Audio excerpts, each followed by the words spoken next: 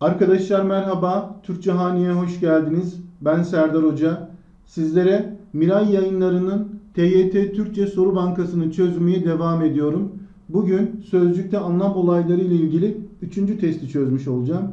Kısa bir konsept bilgimiz var. İsterseniz birlikte buna bakalım. Kinaye ile kinayeli söyleyiş karıştırılmamalıdır. Kinayede hem gerçek hem mecaz anlam vardır. Kinayeli söyleyiş tariz yani iğneleme içerir. Birinci soruyla başlıyoruz. Aşağıdaki cümlelerden hangisi ayraç içinde verilen kavramla uyuşmamaktadır diyor arkadaşlar. Ayraç içinde güzel adlandırma var. Yaşar Kemal 28 Şubat 2015'te İstanbul'da hayata veda etti. Nerede var arkadaşlar? Bakın hayata veda etti yani öldü anlamında kullanılıyor arkadaşlar. Güzel adlandırma neydi hatırlarsanız? Kulağa hoş gelmeyen sözcüklerin yerine daha güzel, daha naif kelimeler kullanmaktır. Öldü kelimesinin yerine hayata veda etti e, sözcüklerini kullandığı için burada güzel adlandırma vardır. O yüzden A seçeneğini elemiş oluruz. Ayrat içinde kinayeyi vermiş. Peki nerede burada kinaye? Bakın kanlı bıçaklı ifadesinde. Kanlı bıçaklı.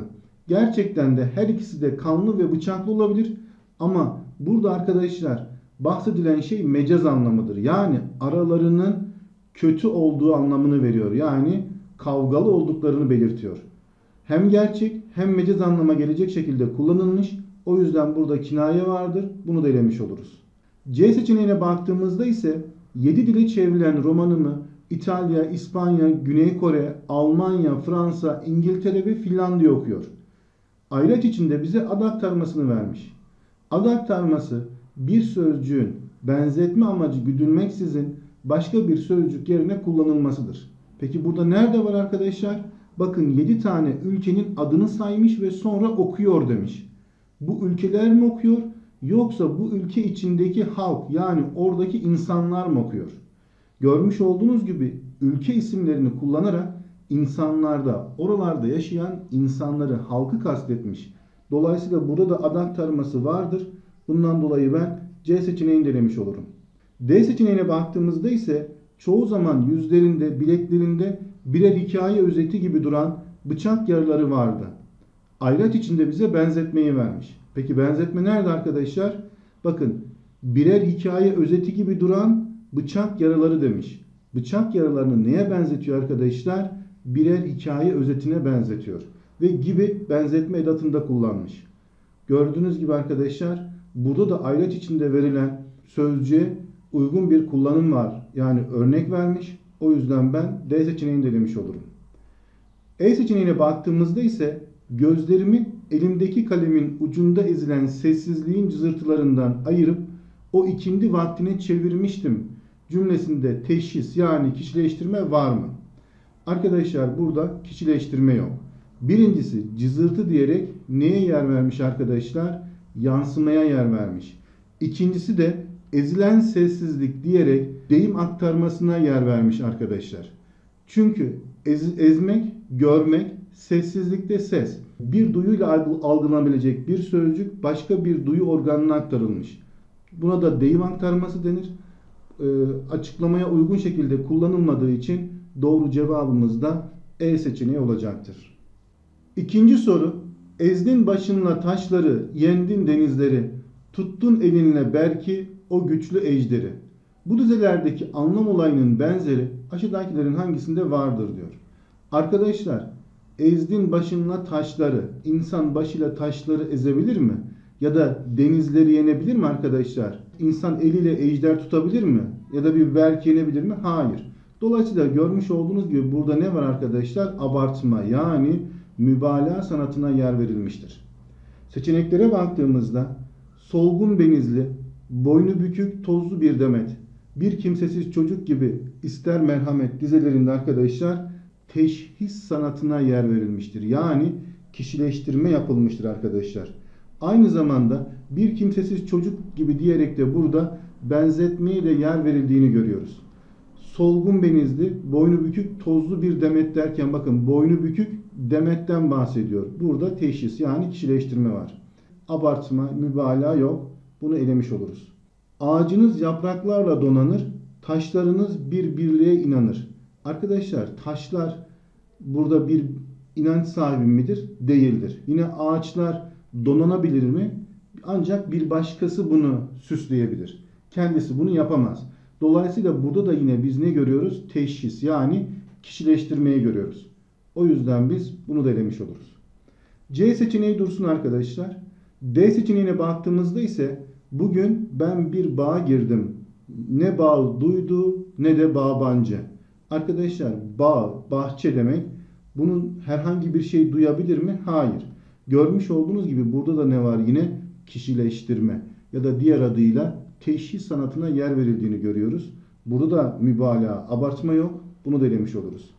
E seçeneğine baktığımızda ise bir keskin sirke ile pamuk fitilden ateş alır almaz yanarsın lamba. Lambanın sirke ya da pamuk fitil ya da ateş alma durumu söz konusu değil. Yani kendi başına bunu yapamaz.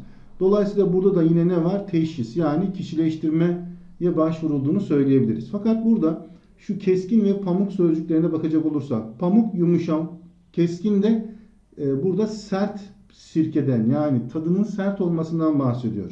Birbirinin zıttı olan sözcükler kullanılmıştır. O yüzden burada da tezata yer verilmiştir diyebiliriz. Mübalağa yok. Bundan dolayı biz E seçeneğini elemiş oluruz. Fakat C seçeneğine baktığımızda bahçenin kapısını açtım. Sanırsın cennete düştüm. Arkadaşlar herhangi bir bahçenin kapısını açtığında e, cennete mi düşülür? Hayır. Çok güzel bir yere vardığını ya da gittiğini ya da oraya kapı açtığını söylüyor. Dolayısıyla o gitmiş olduğu yeri de cennete benzeterek mübalağa yani abartma yapmış oluyor. Bunun için de doğru cevabımız C seçeneği olacaktır. Üçüncü soru bir duyuya ait bir özelliğin başka bir duyuya aktarılmasına duyular arası aktarım denir. Aşağıdaki dizelerin hangisine buna örnek bir kullanım vardır? A seçeneğine baktığımızda karanlık gecenin nazlı gelini ateş verir yandırırlar diline. Arkadaşlar burada herhangi bir duyu aktarımı yok. Bunu elemiş oluruz. Güzellerde cilve olur, naz olur. Pudra güzelliğin ömrü az olur. Bakın burada da duyular arasında herhangi bir aktarım söz konusu değil. Bunu da oluruz. C seçeneği dursun. Fakirler bağında baykuşlar öter. Bu nasıl zamandır? Gün günden beter. Arkadaşlar burada da herhangi bir duyuyla algılayabileceğimiz bir sözcük başka bir duyuya aktarılmadığı için yani duyular arası aktarım olmadığı için bunu da oluruz. Huri melek var mı senin soyunda? Kız nazarım kaldı usul boyunda. Burada da yok arkadaşlar. Bunu da elemiş oluruz.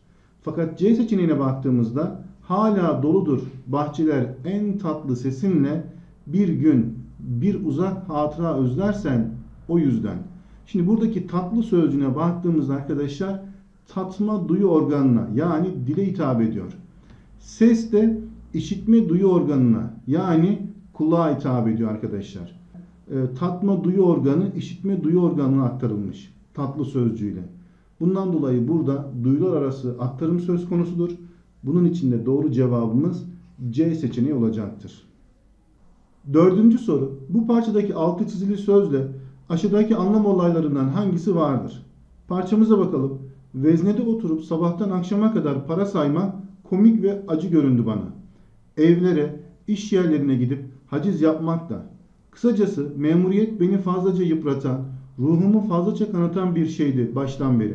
Bu yüzden olsa gerek kalemimle geçinmek çok cazip geldi bana. Arkadaşlar burada kalemimle geçinmek derken yani kalemiyle para kazanmaktan bahsediyor. Bu peki hangi anlamsal olaya işarettir? Bir sözcüğün e, benzetme amacı güdülmeksizin başka bir sözcük yerine kullanılmasıdır bu. Dolayısıyla biz buna ne diyoruz? Ad aktarması diyoruz. Bundan dolayı da doğru cevabımız D seçeneği olacaktır. Beşinci soru. Bu dizedeki anlam olayı aşağıdakilerden hangisinde vardır? Dizemize bakalım. Boşluğun yüzüne çizili vermiş donuk resimler gibi. Sevgilinin gitmesini, ayrılığını, onun boşluğunu neye benzetiyor? Yüzüne çizilen donuk resimlere benzetiyor. Görmüş olduğunuz gibi burada benzetme, diğer adıyla da teşbih sanatına başvurulmuş. Seçeneklere bakalım. A seçeneği dursun. Belki de biraz geç rastladım sana ama her şey geç gelmiyor mu yurdumuza? Arkadaşlar burada ne var? Bakın her şey geç gelmiyor mu yurdumuza diyerek tariz yani iğnelemeye başvurmuş. O yüzden bunu eleyebiliriz çünkü burada benzetme yok. Benim kelime haznem çok geniştir derdim. Senin bir e, kelimene yetemedim ifadesinde ise burada kendi yetersizliğinden bahsediyor. Kendini eleştiriyor. Burada da arkadaşlar hayıflanma var. Benzetme yok. Bunu delemiş oluruz. Öyle bir ölsem, öyle bir ölsem çocuklar size hiç ölüm kalmasa. Bakın burada da arkadaşlar bir abartmanın olduğunu görüyoruz. Çünkü herkes en nihayetinde ölecek. Bu yüzden burada bir abartma var arkadaşlar. Bunu elemiş oluruz. Sen gelsen bana sarılsan üstüm başım açık kalsa ifadesinde ise şart anlamı olduğunu görüyoruz. Burada da bir benzetme yok. Bunu da elemiş oluruz. Fakat A seçeneğine baktığımızda ise ah şu yalnızlık kemik gibi ne yana dönsem batar ifadesinde arkadaşlar yalnızlığı neye benzetiyor? Kemiğe benzetiyor. Benzetme datında kullanmış tıpkı burada olduğu gibi. Dolayısıyla doğru cevabımız da yalnızlığı kemiğe benzettiği için ve yukarıdaki dizeyle aynı olduğu için A seçeneği olacaktır. Altıncı soru. Aşağıdaki cümlelerin hangisinde bu parçadaki altı çizili söze örnek olabilecek bir kullanım yoktur diyor. Bakalım roman en özet haliyle şehirden kaçan Ziya'nın vatan borcu yaparken tanıştığı arkadaşı Kenan'ın yaşadığı Yazıköy'e yerleşmesini sonrasında gelişen olaylar geri dönüşlerle aslında tüm hayatını anlatmaktadır. Arkadaşlar burada vatan borcundan kastedilen şey nedir? Askerliktir. Peki burada hangi anlamsal olay var? Tabii ki burada dolaylama var arkadaşlar. Bir sözcükle anlatabilecek bir durumun birden fazla sözcükle anlatılmasıdır. Seçeneklere baktığımızda A seçeneğinde beyaz altın Çukurova'nın geçim kaynağıdır diyor. Burada nerede dolaylama var arkadaşlar? Tabii ki beyaz altın ifadesinde. Beyaz altınla kastedilen şey nedir? Pamuktur. O yüzden ben A seçeneğini elemiş olurum. Kızıl gezegende Çinliler bitki bile yetiştirmeyi başaramadı. Burada nerede arkadaşlar? Kızıl gezegen ifadesinde. Hangi gezegenden bahsediyor? Tabii ki Mars'tan bahsediyor. Bakın bir sözcükle anlatılabilecek bir kavram ya da bir durum birden fazla sözcükle anlatıldığı için B seçeneğini de demiş oluruz. Cihan Padişahı Muhibbi mahlasıyla çok güzel gazeller yazmıştır. Arkadaşlar Muhibbi mahlasını kullanan ve Cihan Padişahı olarak bilinen kişi ise kimdir? Kanuni Sultan Süleyman'dır arkadaşlar. O yüzden ben C seçeneğini de demiş olurum. Dünyanın tepesi her başarılı dağcının zirvesinde olmayı hayal ettiği yerdir. Peki burada nerede? Tabii ki dünyanın tepesi ifadesinde. Kastedilen nedir arkadaşlar? Everest'tir. Bundan dolayı bunu denemiş olurum. E seçeneğine baktığımızda ise ince hastalık, Tanzimat ve Servet Fünun döneminde pek çok romana konu olmuştur. Arkadaşlar burada ince hastalıktan kastettiği şey veremdir. Peki veremde dolaylama mı var? Hayır. Burada ne var arkadaşlar? Güzel adlandırma var. Nedir güzel adlandırma? Kulağa hoş gelmeyen bir sözcüğün yani veremin yerine kulağa hoş gelen daha naif, daha güzel kelimelerin yani ince hastalığın kullanılmasıdır. Bu ve bunun gibi örneklerin var olmasıdır. İşte biz buna güzel adlandırma diyoruz. Burada dolaylama olmadığı için de doğru cevabımız E seçeneği olacaktır. Yedinci soru. Numaralanmış cümlelerin hangisinde deyim aktarması yoktur demiş.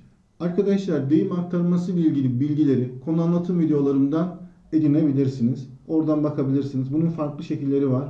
Bilmeyen arkadaşlar öğrenebilir. Birinci cümleye baktığımızda hasta deniz, ihtiyar ağaçlar fablın pek çok yerinde karşımıza çıkıyor.